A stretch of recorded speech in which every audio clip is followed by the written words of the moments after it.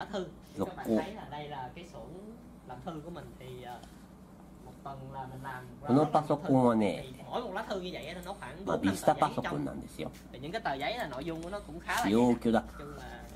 cũng cỡ vậy nè 接続設定 nội dung nói chung là nó cũng khá là インストールメニュー màu ソ sắc フ cũng ト khá ウ là dày ェアの nè. 追 Thì 加 trước đây á là mình in mỗi một 初めて使うときはこれを選択してください clip rồi cái chi phí nó cũng rất là cao với lại in một thời gian thì cái máy nó cũng gần như là nó